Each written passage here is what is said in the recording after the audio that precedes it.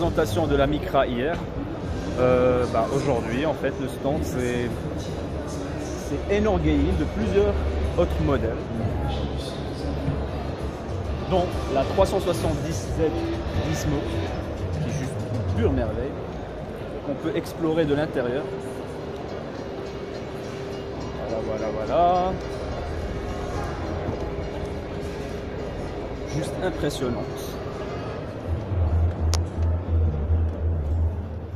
Je vous laisse le soin d'apprécier cette qualité de finition qui est juste géniale.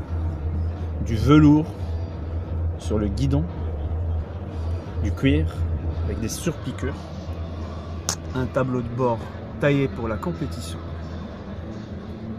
Tout y est. Les sièges baquets, Recaro. C'est une pure merveille.